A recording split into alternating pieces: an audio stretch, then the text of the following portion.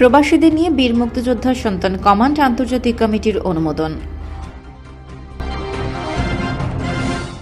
মালয়েশিয়ার প্রবাসীদের যে কোনো দেশে নিরাপদ বিমান ভ্রমণের বিশ্বস্ত প্রতিষ্ঠান JOC holiday tours and travels.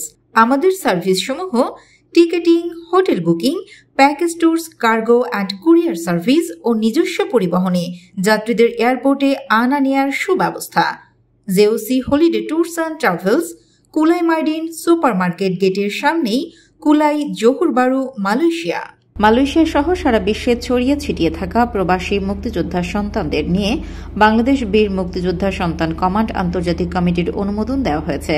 সম্মিলিত মুক্তিযোদ্ধা সংসদের অঙ্গ সংগঠন বাংলাদেশ বীর মুক্তিযোদ্ধা সন্তান কমান্ড কেন্দ্রীয় কমিটির সভাপতি মিজানুর রহমান ও সাধারণ সম্পাদক ইয়াসিন আকন্দ এই আন্তর্জাতিক কমিটি অনুমোদন দেন।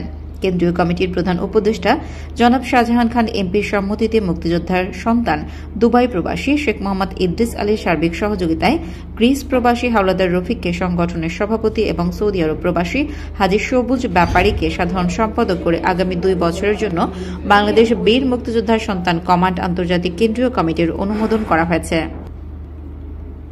বিশ্বের বিভিন্ন দেশে বসবাসরত বীর মুক্তিযোদ্ধা সন্তান নিরানব্বই সদস্য বিশিষ্ট। আরও যারা এই কমিটিতে স্থান পেয়েছেন তারা হলেন সিনিয়র সহসভাপতি মোহাম্মদ জসিমউদ্দিন সহসভাপতি যথাক্রমে মোহাম্মদ আমির হোসেন ও মনির হোসেন শিকদার, মোহাম্মদ মেজানুর রহমান, মৌসুমি পারভিন, সাংগঠনিক সম্পাদক মোহাম্মদ জসিম খালাসি, প্রচার সম্পাদক মোহাম্মদ ইব্রাহিম আলী।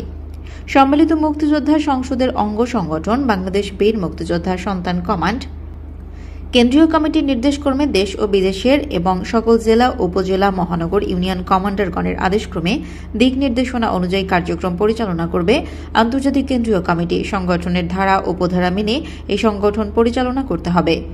আশরাফুল মামুনের তথ্য ও ভিডিও চিত্রে ডেস্ক রিপোর্ট, কুমিল্লা টিভি।